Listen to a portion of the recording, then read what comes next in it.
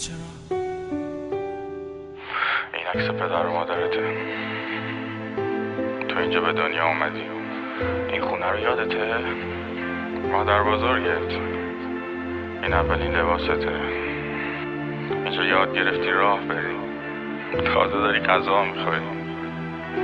اولین باری که برف اومد. چقدر خوشحال به نظر می‌رسه این اتومبیل یادته؟ یکم بزرگتر شدی.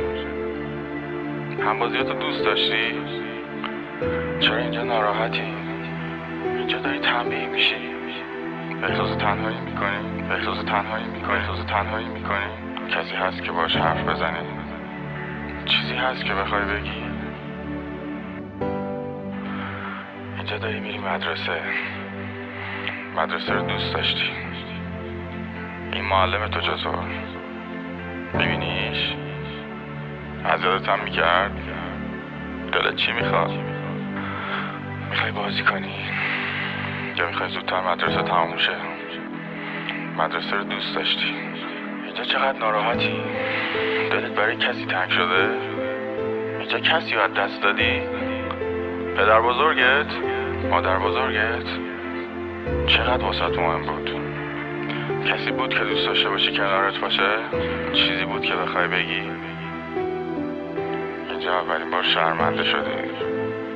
یادت چقدر خجالت کشیدی. کسی بود که دوست داشته باشی کنارت باشه؟ چیزی بود که بخوای بگی؟ چقدر واسه مهم بود؟ این مسافرت رو یادته؟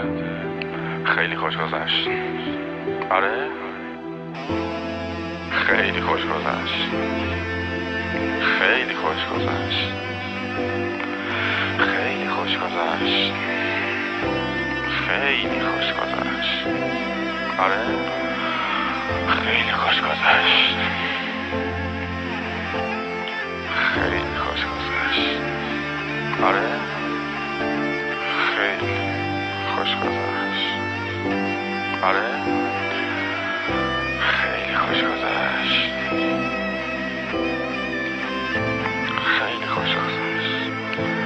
خوش گذشت خیلی. خیلی خوش گذشت اینجا چقدر بزرگتر شدی؟ چقدر فرق کردی؟ کمی مغرور به نظر می‌رسی. این مهمون چقدر خوب بود. این آدم رو چقدر دوست داشتی.